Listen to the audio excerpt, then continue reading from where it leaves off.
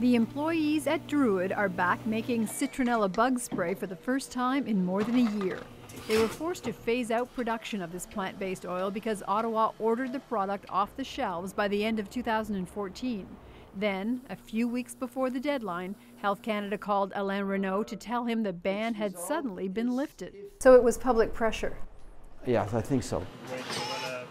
Health Canada says the science hasn't changed, but after CBC News reported on the impending ban, Health Canada told us it heard from consumers and producers and decided it would be in the best interests of both to lift the ban temporarily and establish a new expert panel to review its current regulatory approach. Sam Kacew was on Health Canada's original scientific committee that reviewed the safety data on citronella bug spray in 2005.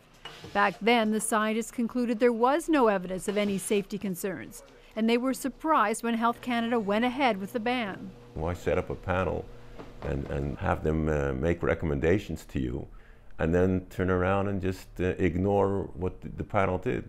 John Arnason was also on the original scientific committee. He worries if it was consumer pressure instead of science that caused Health Canada to lift the ban. I must admit I'm somewhat disappointed they didn't take our lead uh, rather than taking uh, a lead from public commentary. Citronella bug spray is considered a pesticide. That means it's regulated alongside synthetic chemicals like DEET. So after half a century of use and one scientific review that found no evidence of harm, Health Canada is now studying it all over again even though nothing, scientifically speaking, has changed. For Alain Renault, his Health Canada file keeps getting thicker. And it doesn't sound like it's over. No, it's a fight. For now, Druide is planning to put the products back on the shelf and wait to see what happens next. Kelly Crow, CBC News, Montreal.